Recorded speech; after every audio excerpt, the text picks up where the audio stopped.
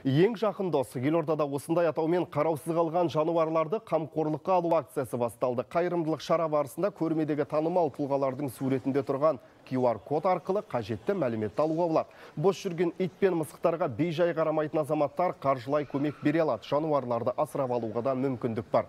Төрт аяқтыларға тегін ветеринариялық қызмет ұсыну мен оларды ұстайтын орындарға жыл сайын шағын гранттар беріледі. Биыл ел бойынша 30 грант үлестірілді шағын гранттарды ұтып алу үшін ә, міндетті түрде үкіметтік емес ұйымды құру маңызды емес.